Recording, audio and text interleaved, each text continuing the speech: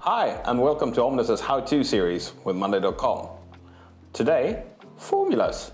Did you know that Monday actually can handle formulas? Well, now you do. Let's have a look on how you can use them.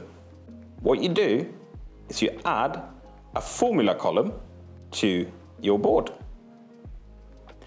Formulas work on the item level. They, you, they don't correspond between different items. The syntax, if you have used Microsoft Excel or Google Spreadsheet, is very, very similar to that.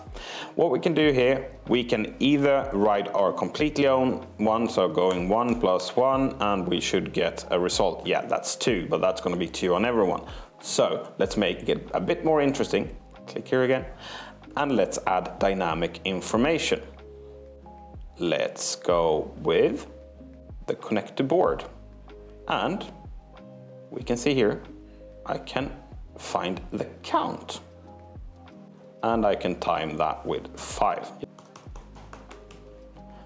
And that's how you use formulas. Now, go have some fun.